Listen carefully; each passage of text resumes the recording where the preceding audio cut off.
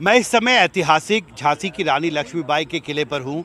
झांसी शहर के बीचों बीच बना ये किला गवाह रहा है। पूरे बुंदेलखंड क्षेत्र में जो राजनीतिक और सामाजिक बदलाव हुआ है पिछले कई सदियों में और इस बार यहाँ चुनाव होने वाले हैं। राजनीतिक सरगर्मियाँ तेज़ हो रही हैं और मेरे साथ यहाँ पर समाज के बुंदेलखंड समाज के अलग अलग वर्ग के प्रतिनिधि हैं। आपका शुभ नाम? मैं अमित रावत। अमित रावत। जी। इस बार इस चुनाव से क्या उम्मीदें हैं यहाँ पर आप? इस चुनाव से मुझे तो एक ही उम्मीद लगती है कि सबसे पहले यहाँ पर सबसे ज़्यादा युवा युवा वर्ग बहुत अच्छा है मतलब बेरोजगार है और ना उनको कोई रोज़गार है। और सबसे बड़ी समस्या है झांसी के शहरी क्षेत्र में पेयजल की। पेयजल को लेकर हर जगह टंकी बन गई हैं नल लग गए हैं कहीं नलों में पानी नहीं आ रहा है लेकिन नलों में पानी तो नहीं बिल ज़रूर घर आ रहा है। बिल आ रहा है लेकिन नलों में पानी नहीं आ रहा शहरों में बुनियादी सुविधाएँ आपको लगता है कि बेहतर करना ज़रूरी हो? बिल्कुल ज़रूरी है भाई साहब। शहरों में बुनियादी जो सुविधा है वो तो नंबर वन पे आनी चाहिए जिससे ताकि आम आदमी को राहत मिले। और सबसे बड़ी बात यह है कि जो आम जनमानस है उसकी सुनवाई पूरी तरीके से होनी चाहिए।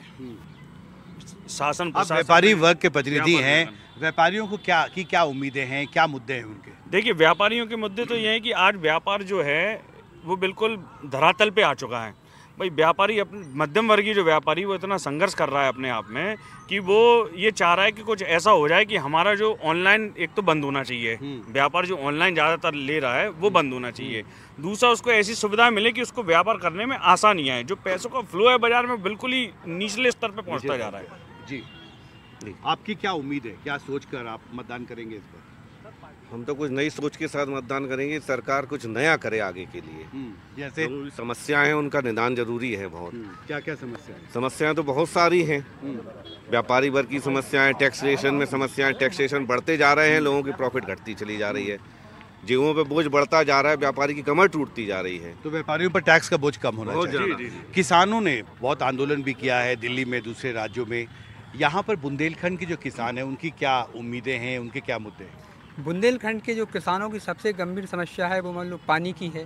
पानी की बहुत ज़्यादा गंभीर समस्या है पानी नहीं है तो पहले उनको पानी की व्यवस्था करना चाहिए। दूसरी हमारी जो समस्या है वो एमएसपी पे है।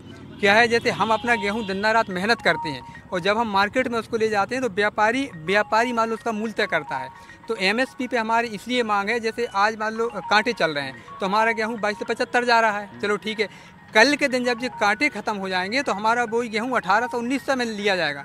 इसी इसीलिए हम लोग एम एमएसपी पर लड़ाई लड़ रहे हैं कि जब एमएसपी लागू हो जाएगी। मिलना चाहिए। जी शहरी मूल्य तो हम मान लो आज हमारे पास समय नहीं है।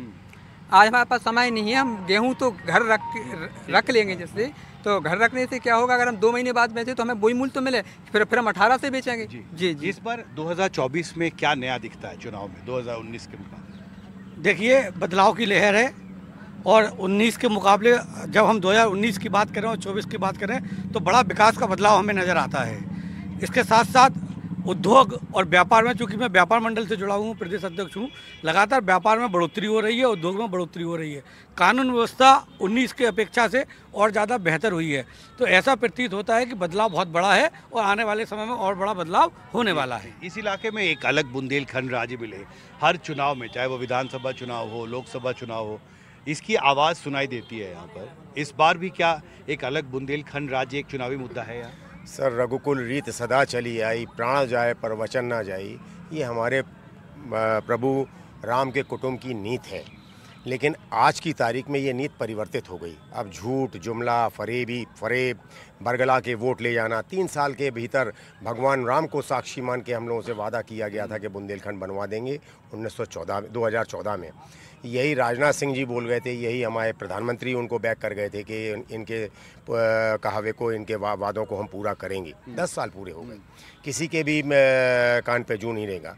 लगातार हम लोग पुतले दहन करते रहे रोड जाम करते रहे, ज्ञापन देते रहे, लेकिन कुछ सुनवाई जब नहीं हुई तो हम लोगों ने एक नया कार्य प्रारंभ किया है कि, अर्जी, हम आंदोलनकारियों की और मर्ज़ी आप बुंदेलखंड वासियों की तुम्हें राम को कॉल। कॉल का मतलब कसम होता है हमारे बुंदेलखंड में। तुम्हें राम को कॉल, जिन्होंने बुंदेलखंड राज निर्माण की बात लोकसभा में नहीं की है। एक पुष्पेंद्र सिंह चंदेल हैं, जिन्होंने आठ बार बात की। लेकिन दुर्भाग्य देखिए, हमारे जो क्षेत्रीय सांसद हैं झांसी के जो सांसद हैं, वो उनके पीछे बैठे रहे, सिर्फ़ पुष्पेंद्र सिंह चंदेल जी को निहारते रहे।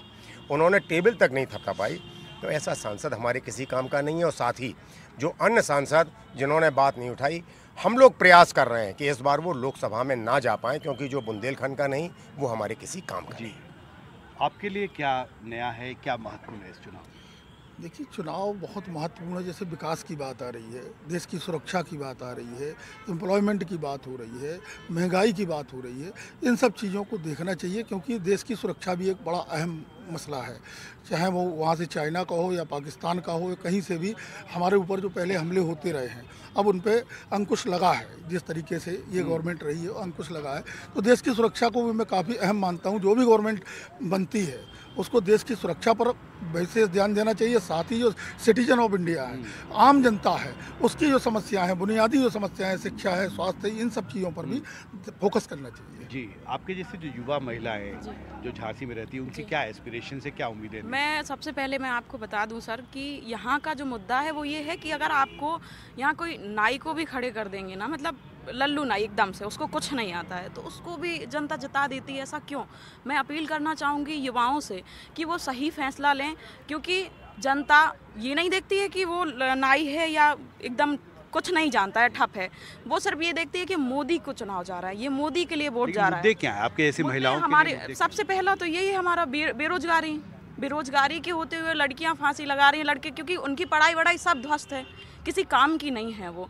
तो मेरा सबसे जो बड़ा मुद्दा है वो बेरोजगारी है। हम्म, आपको लगता है कि इलाके का विकास पर नई सरकार को ध्यान देना होगा? जी बिल्कुल बिल्कुल। और मैं युवाओं से अपील भी करूँगी कि जो अब की बार जो वोट दें वो बड़े ही सोच समझ के वोट दें।